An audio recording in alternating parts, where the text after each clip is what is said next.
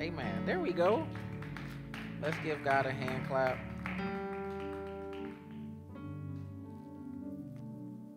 Amen. Um,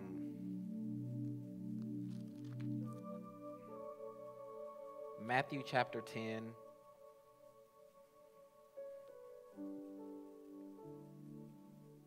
Thank you, Jesus. You are worthy, Father. Matthew chapter 10. I started last week. Um, I started last week. I didn't I didn't really get to get into the text. I scratched the surface a little bit. So hopefully I can finish where what I started, where I started. Matthew chapter 10 verse 1. And the Bible says, "And he called to him 12 disciples, and he gave them authority." Amen. He gave them authority over every unclean spirit to cast them out and to heal every disease and every affliction.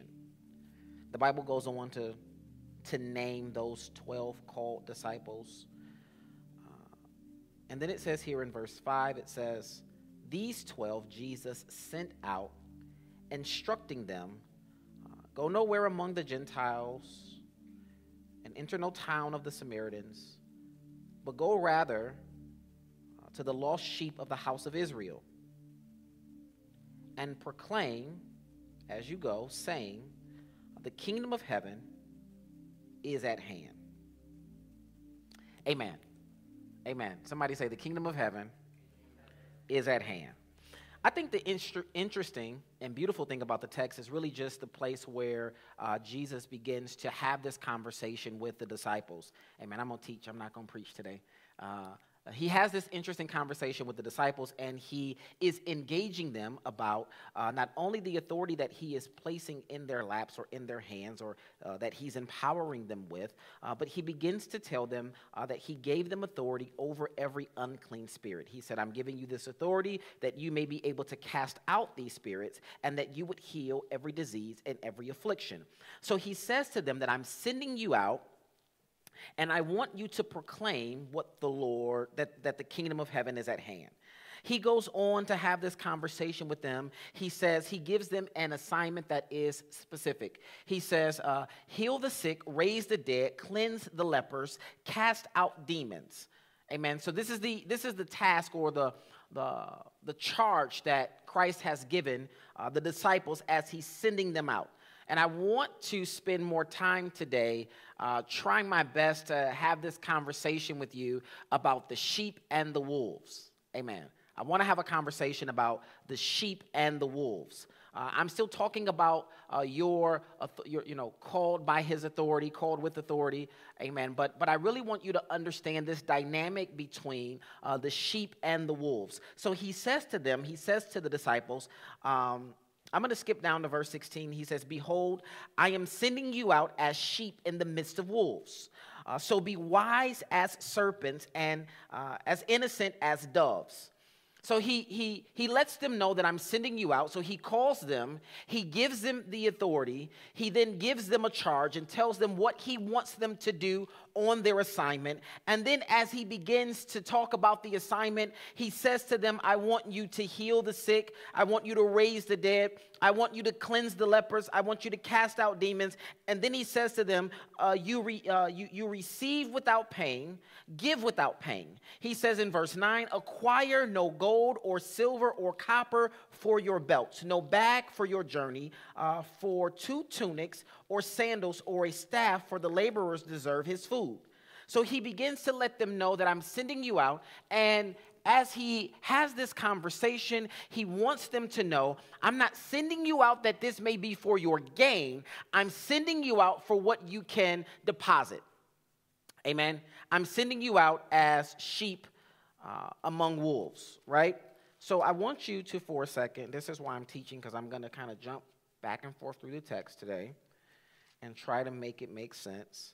If you turn back to Matthew chapter 7, I want to read verse 15. He says, Matthew chapter 7, verse 15. Beware of false prophets who come to you in sheep's clothing, but inwardly are ravenous wolves. So he begins to talk about this dynamic. He says that there are false prophets that exist among you. And the thing that you have to realize is these false prophets are coming to you and they look a lot like sheep, but inwardly, they don't embody the spirit, the essence, or the character of a sheep. Amen. So, so, so he has already let us know that there are false prophets that exist among us, and these false prophets look like sheep, but their intentions and their heart's desire and their posture is not authentic to a sheep. And then he calls these 12 disciples and he empowers them with authority and he lets them know what they will be uh, required to do on their journey. And then he says to them in verse 16, I'm sending you out as sheep. So now we recognize that there are sheep that are out, they are moving. There are sheep that have authority. There are sheep that have responsibility. There are sheep that are prophesying. But the true identity of who they are is not based on what they look like, but based off of the character that they embody. Amen. This is the part that I that I want us to understand because uh, oftentimes we're trying to figure out what differentiates us as believers. What differentiates you as the believer? What makes you different? How, how, how do you maintain who you are? Because this is what happens. Many times uh, we go out, and because the Bible has already let us know that we are going out as sheep and we are going out among sheep and we are trying to capture the lost sheep, for many people, all they see are the sheep. My goodness. I'm going to help us out. Hopefully. Fingers crossed. Uh, all we see are the sheep. And so, so there is uh, a responsibility that's given. And I think the beauty of what Jesus begins to do as he has this conversation with the disciples at the onset of sending them out for their assignment, he reminds them that he has given them authority. And I said this to you last week. I said, it's important to remember who has called you. Amen. It's important that you remember who has called you because if you remember who has called you, then you become familiar with the sound of their voice. Ooh. You become familiar with the sound of their voice, and it is imperative that we are able to identify the voice because it is the thing that uh, we will always respond to. We'll always respond to the, the voice of the Lord. We'll respond to the voice of the one that has called us. So it's imperative for the disciples, it's imperative for you to know who has called you, who has set you on assignment, who has given you authority, who has given you responsibility, and what your responsibility is with what you have been given. Now, you as the believer, you are much like the disciple in the sense that God has given you a responsibility. And yes, you are not going out the same way they did, but He has given you, He's empowered you with greatness, and He has given you this incredible uh, purpose and He has begun to map out destiny for you. And now, with this assignment that comes out uh, based off of your gifts and your talents, God is saying that the reason that I've called you and the reason that I've empowered you and the thing that you are uh, required to do is to go out and to capture the lost sheep. And, and it, it's important for us to remember what Jesus says to the disciples as he begins to survey everything that was going on around him before he called them. He, he, he recognized, and I read this part to you last week in Matthew, uh, really at the end of chapter 9. He says, And Jesus went throughout all of the cities and the villages, teaching in their synagogues and, and proclaiming the gospel of the kingdom and healing every disease and every affliction. The Bible says here in, in 9 and 36, when he saw the crowds, he had compassion for them uh, because they were harassed and they were helpless. Who were they harassed by? Amen. I want to teach today. Who, who were they harassed by? They, they were being, these, these sheep that, that Jesus begins to identify are being harassed by those that should uh, really be a reflection of a shepherd among the sheep. Amen. But but but the reality is they weren't doing what they were supposed to do and the bible says uh, like like sheep without a shepherd uh, then he said to the disciples the harvest is plentiful uh, but the laborers are few therefore pray earnestly that the lord of the harvest uh, will send out laborers into his harvest. He says, This is the prayer that I want you to pray. And then he calls them and he then sends them out into the harvest, and their job is to harvest the lost sheep. Amen. He says their job is to harvest the lost sheep, and now he's sending them out. But this is the part that I want to get to for you. Uh, the marketplace that God uh, uh, has, has placed you in, it requires that you are not only clear on who you are, but what you've been called to. And many of us are disciples, many of us are those called sheep that God is using, and he has placed us in the marketplace with an assignment that we would reach the lost sheep. He tells the disciples that he is sending them out as sheep. Uh, and not only in appearance, uh, but he's sending them out as sheep in their, in their spirit and in their posture. And his desire is for them to engage and to connect with those that are lost. Amen. And so when you are trying to figure out why God has called you, as you begin to identify uh, uh, the gifts and the talents that God has released in your spirit, when you understand what your true assignment is, it looks a lot like you going out as sheep among sheep to capture the lost sheep. But it's important that you don't lose your sense of identity as you are out among them. Amen. This is the problem that we have as believers we forget who called us and we start mimicking those that look like us. Amen. It's a reason that Jesus starts this conversation and he begins to tell the disciples uh, uh, that he's called them, that he's given them authority. This is the reason that he tells them, I want you to go out and work, and I don't want it to be about the money. Amen. That's what he says in verses 8 and 9 in chapter 10. I don't really want you to focus on money. And many of us, we go out on assignment in the marketplace spiritually, and it only becomes about what we get and not what we deposit. We go out in the marketplace and we begin to release a word, and now we begin to think more highly of ourselves. And that's why the Bible says here in chapter 10, I'm going throughout the text because I really want you to understand it. He says here in 10 and 24, the disciple is not above his teacher, nor for the disciple to be like the teacher uh, and the servant like he is like, like his master. I, I, don't need you to go out and be me. I need you to go out and be a reflection of me is really what jesus begins to say to the disciples. It's not about what you gain but what you deposit in the in the in the place that i've put you in. And the only thing that distinguishes you the only thing that makes you different because what we're trying to get, what we're trying to capture are the lost sheep. Amen. We're trying to capture the lost sheep. And I really want you to follow along with me. There are already false prophets that are out that look like sheep. They are among sheep.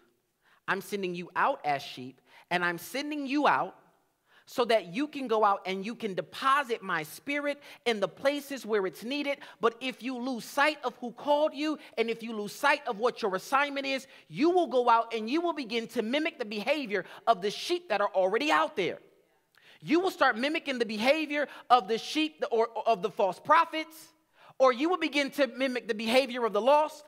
And I don't want you to go out thinking about, oh, I look like them, and so I should behave like them. I want you to go out realizing that I've called you with authority, that you would have the ability to overcome in the places where I plant you. My goodness. So I'm trying to get you to realize that I'm planting you in a place for my glory. I'm planting you in a place for assignment. I'm planting you in a place so that you can actually do the work. And the only thing that makes you look different is the, is the spirit that you carry. Amen. It's the spirit that you carry. He says, he says there are false prophets that are out. Chapter 7, verse 15. Beware of false prophets who come to you in sheep's clothing, but inwardly are ravenous wolves. And, and many times we can begin to distinguish and identify these different segments of sheep that are out there because what they begin to do they begin to preach a message or they begin to deceive many of the believers by impersonating a shepherd and they try their best to uh, promote uh, all things that are common and all things that are easy. Amen. Amen. I know. I, I know that we live in a time where it's more convenient to do it the way the masses are doing it, but the true identity of who you are is embedded in not only the posture that you carry, but the words that you will release. Mm. And so if we go out and we promote a message or we begin to promote a gospel that says, uh, this is the wide way and this is the easy road, and you should take this wide gate in this easy road, and we can all get to the same destination. Uh, if you start to believe this concept that we can all blend and walk through the door, then you are uh, wildly uh, misinformed because it's not what the Bible teaches as it relates to the path that God is leading us on. He says this wide gate and this open road and this easy way generally leads to destruction. Amen. I know, I know nobody wants to hear about destruction uh, because it makes us uncomfortable because we like the comfort of doing it our own way. And there is a level of discomfort that comes when I tell you that you can't do it the way you want to do it and still end up in the place that you say you want to end up in. And that's really the mix up. You say one thing, God, I want to be where you are. God, I want to be in your presence. God, I want every blessing that you have for me. God, I want to showcase your glory. God, I want to sing your praises. God, I want to be in the midst of your presence. God, I want you to dwell right where I am. God, I want you to increase my territory. God, I want you to enlarge my span. I want you to enlarge my wingspan. I want you to allow me to soar like an eagle. We say all of these things, but then we live a lifestyle that is contrary to that very statement. I know what I said, God, but you know my heart.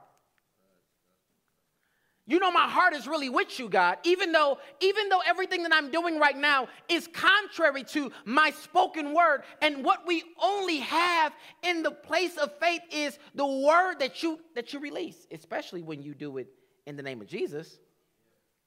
Especially when you're saying you're doing it for kingdom, all you got are the words that you speak. And so people start and and, and this becomes the mix up. trying to teach.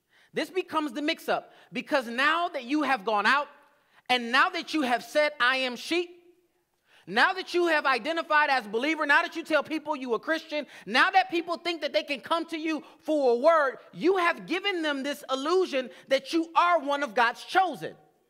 And then when they come to you, or when they see you on your social media, or when they see you in person, or when they see you in certain areas, none of what you do is a reflection of who you say you are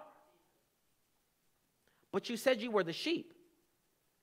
And so, what God is trying to do as He calls the 12 disciples, He's trying to get them to realize not only do I want you to identify uh, and, and, go out, and, and, the reason that He sends them out as sheep is because He, do, if, he doesn't want to send them out and then scare away everyone that He's trying to capture.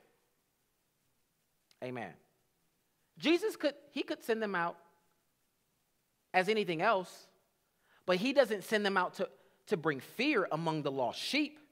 Because, because really the goal is that uh, it would be an inviting, welcoming experience. And this is for those of us who've been in church. Amen. This is for those of us who uh, we, we, we, we invite new people uh, into our safe space, uh, but sometimes our faces don't say that it's a safe space. Sometimes we are not a reflection that this is a welcoming experience. Sometimes there's a lack of authenticity that exists among believers. Sometimes we step into the church and we create a culture that makes people feel uncomfortable and it's uninviting and it's not welcoming. And so now, because we are supposed to be the sheep, but we don't do anything that reflects that we are God's chosen, it pushes people away. So Jesus is like, I'm sending you out to look like them, but not be like them.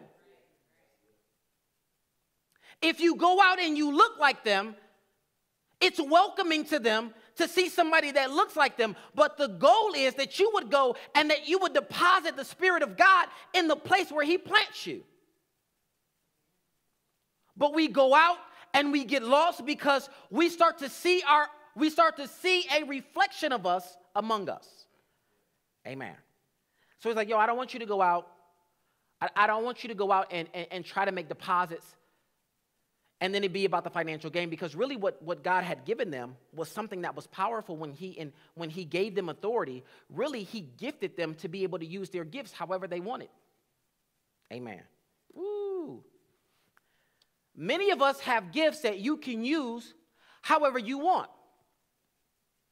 But if we be honest and we be true we recognize that god has gifted us many of us for his kingdom Amen. I thought I'd get one. Where's my amen button? I thought I'd get one or two more amens right there. Amen. It, he, he, he gave you this gift for his kingdom. He gave you this gift for his glory. He gave you this gift that you would utilize it, that you would be able to uh, draw those that are lost because you look like them. And, and, and really, what I try my best, and I had this conversation with Jay this week, we were talking about ministry, and I'm like, really, the goal is uh, to reach people that look like us but don't live like us.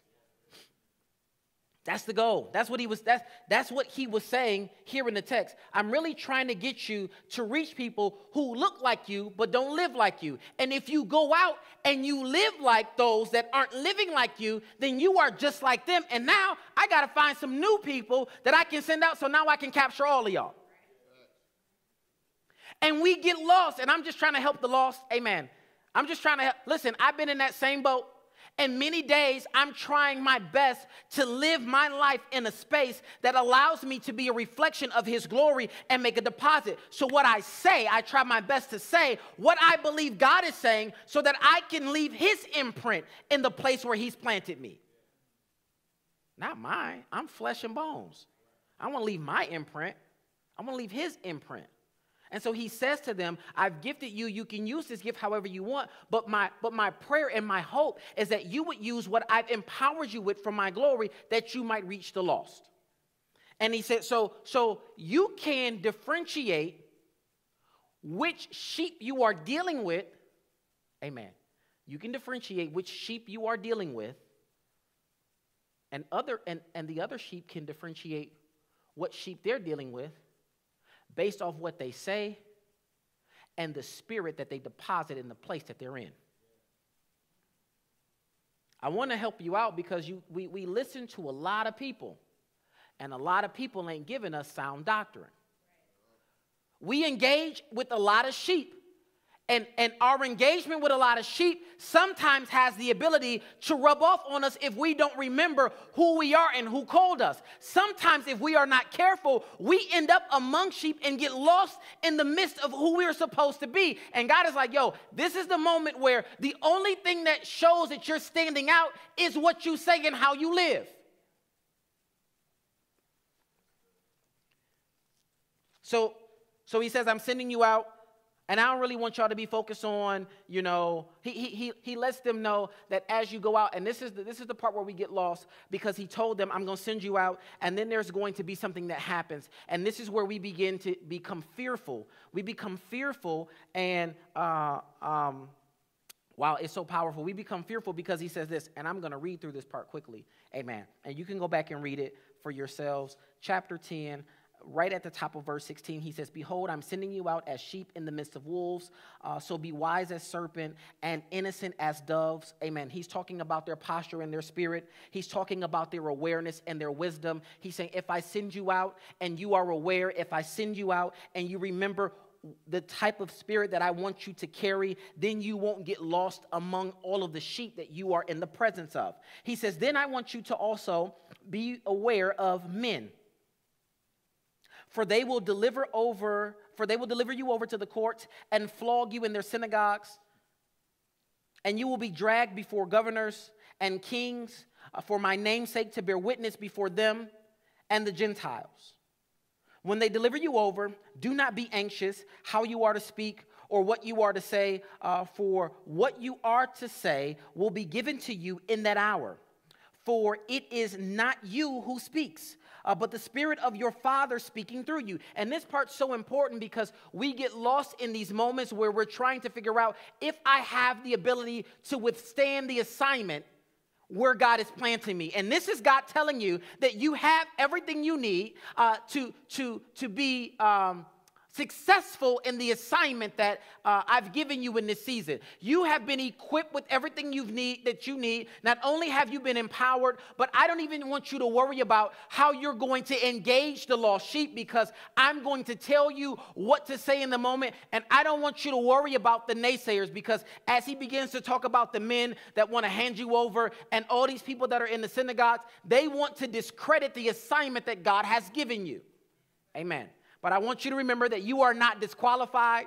I want you to remember that you are God's chosen. I want you to remember that God has given you more than you need. I want you to remember that you bear His Spirit. I want you to remember that you have been anointed. I want you to remember that your cup is running over. I want you to remember that it's not based off your own might, it's not based off your own intellect, it's not based off your own authority, but it is what God has given you in this season so that He can be glorified and that His name can be lifted, that He might draw all men unto him. Your assignment is greater than you.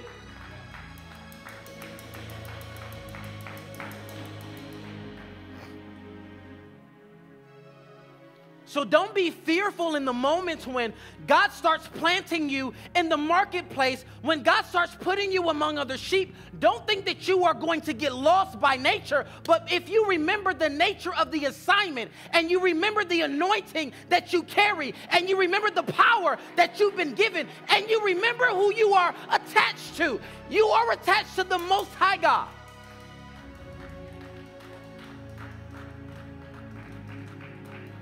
Jesus has anointed you for the assignment, and he has tra- woo, he has transferred his spirit into you.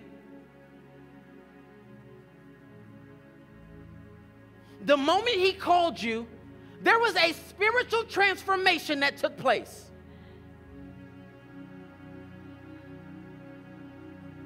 And that's why he tells them, I'm sending you out and you look different. Woo! I'm sending you out and your spirit is different. I'm sending you out, and it doesn't matter what you say because I will give you what to say because you've been spiritually transformed.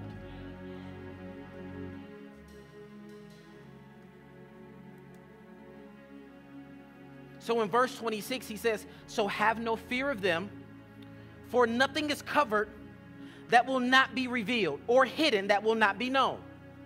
God ain't withholding anything from you.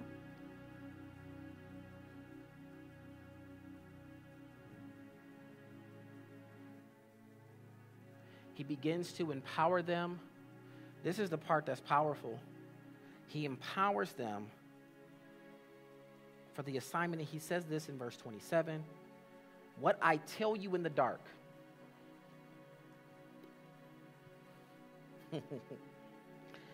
Ooh. Because this is the thing that we forget. And I hope you can catch this. There are dark places in your assignment. Oh, my God. Every place that you're going, every place that you're walking into, won't have light reflecting in it.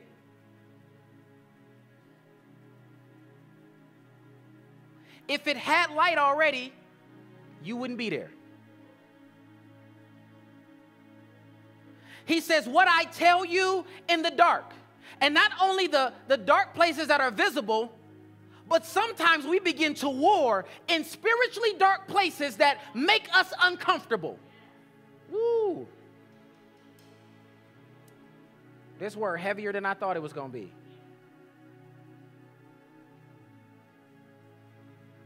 And you end up in these dark moments and you end up in these dark places and you think that you're going to get your behind whooped in these places because you aren't necessarily prepared for the dark places. Because you thought it was going to be all glitz and glamour. You thought it was going to be all beauty and glory. You thought it was going to be all ease and convenience. That's the sign of false prophecy. It ain't to be easy on the assignment. Nothing about the, nothing about the assignment of Jesus was easy. And I can assure you that as he was dragged from judgment hall to judgment hall, I can assure you that as they tried to imprison him, he had moments where he was in the dark, but he heard something in the dark place that he had to speak. Woo, my God. Woo. in the light. Then he says, and what you what you hear whispered, proclaim on the rooftops.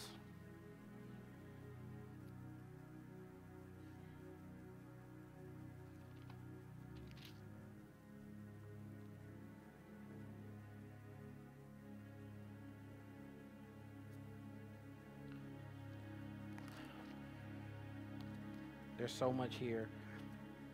Stay right there, cuz. Um,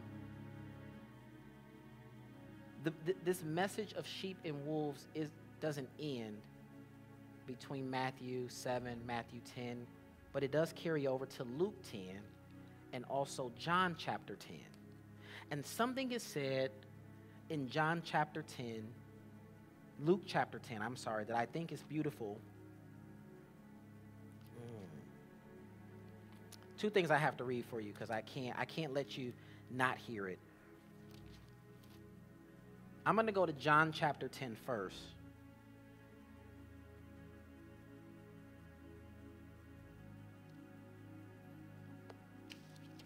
Jesus begins to have this conversation and he reminds them that he's a good shepherd. And he says, because I'm still dealing with the sheep he says, The thief comes only to steal, kill, and to destroy. The false prophet, that false prophet that looks like a sheep, he embodies, the false prophet embodies the spirit of the adversary.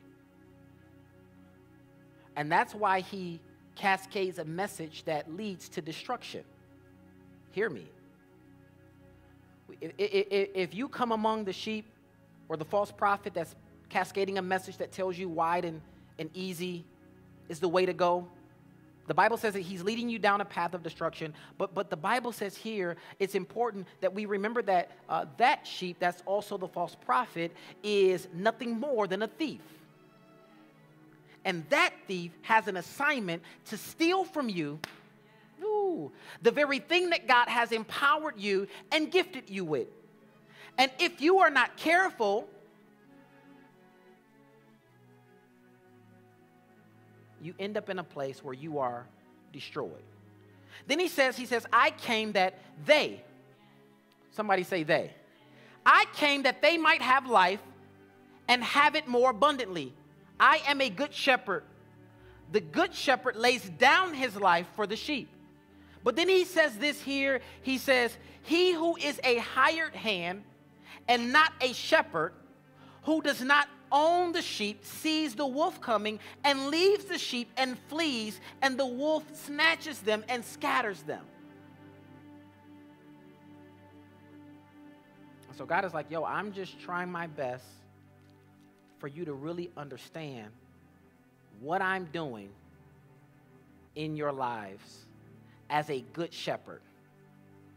And I've planted sheep among you that I've called, that I've given authority to, and their direct assignment is to draw you, the lost, back to where the good shepherd is, so that you might have life and that you might have it more abundantly.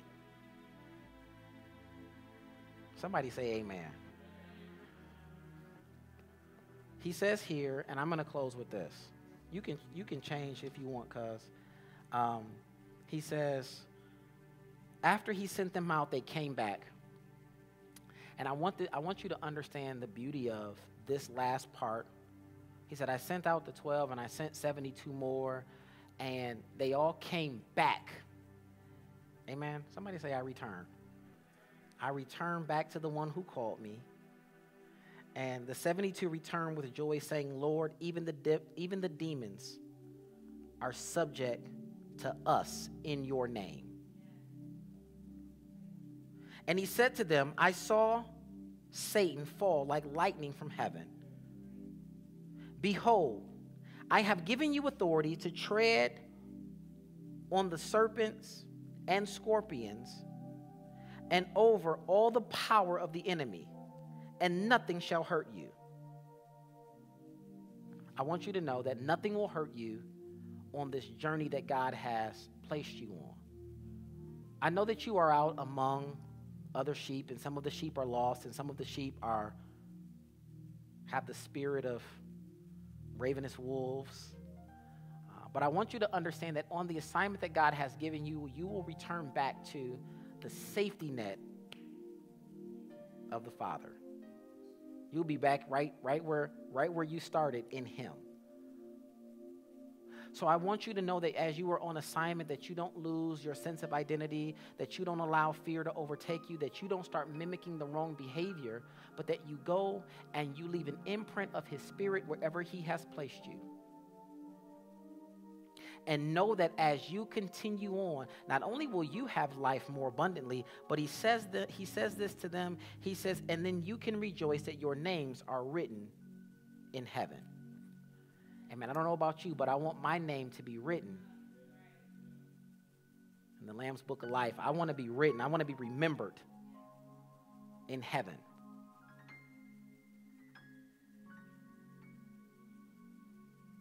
And I know you're out, you're among all the sheep, and you're hanging out with all the people that look like you.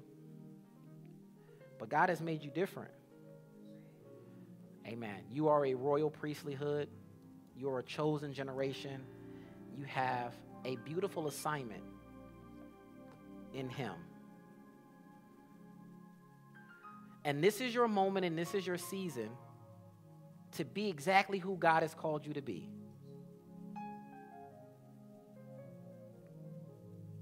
So, this is the call to you today. Amen. We offer Christ to you. This is, this is our appeal to you. This is our hope that you would be a partaker of this glorious experience of faith. And many of you have been sitting on the outside saying, I kind of know that I could be I could be a different sheep. Amen. I kind of know that I felt lost for a while. And so this is our appeal to you today.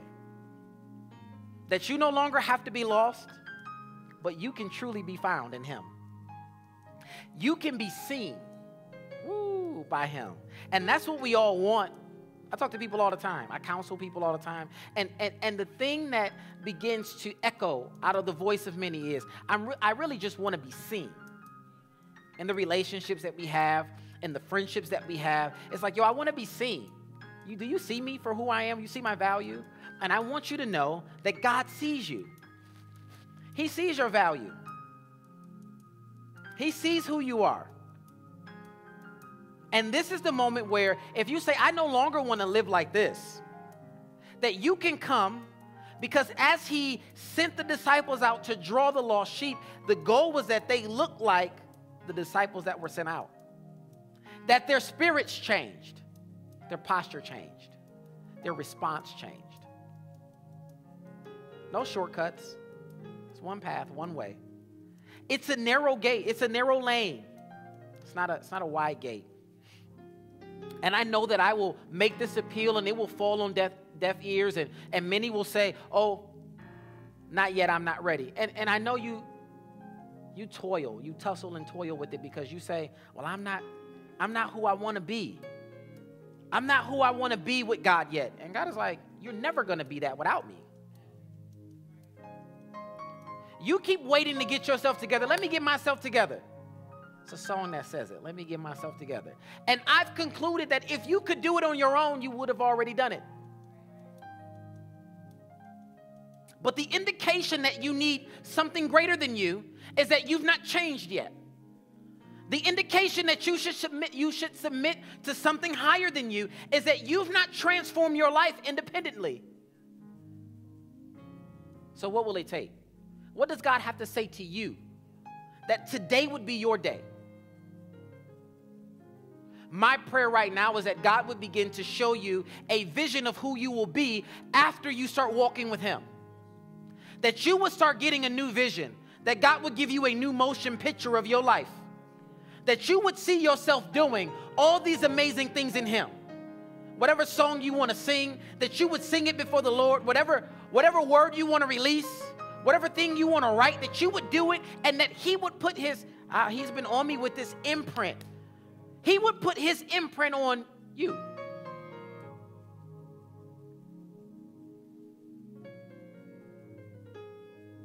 that He would bless you and that it would be a never ending, cascading blessing. Will you, will you accept Christ today? Will you accept the great I am? Will you accept Emmanuel, God with us? Will you accept Jesus, our Lord and Savior? Will you accept Him today?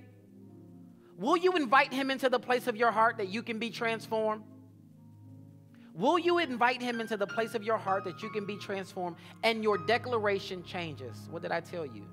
The sign of who you are is evident in how you move and what you say. Now I say something different Jesus is Lord. And that declaration alone changes everything. I invite you into my heart. Pray this prayer with me. Father, I invite you into my heart that you would transform me, that you would make me over, that you would break up the hard place, and that this would be a great place for your deposit. Make an imprint, make an impression, put a smile on my face change my heart, change my words. Jesus, Lord, Savior, you are everything. I believe it. I confess it. I'm different because of you. Amen. Amen. Amen. We offer Christ to you. Listen, if you